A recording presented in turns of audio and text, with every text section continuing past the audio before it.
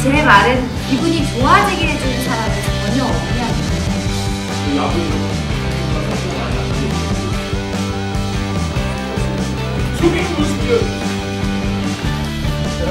그림만 나오면 됩니다. 필기 많이 한 곳을 쳐야 돼. 아무것도 없는 집.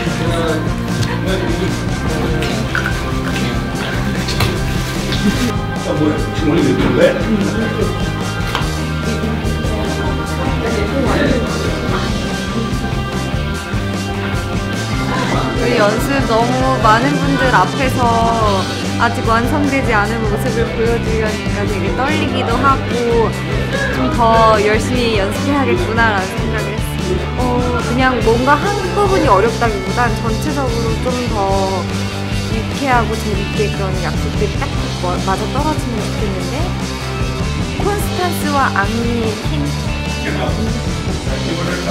네, 공연 때는 좋은 모습 보여드릴 수 있도록 최선을 다해서 노력하겠습니다. 안녕. Guarda,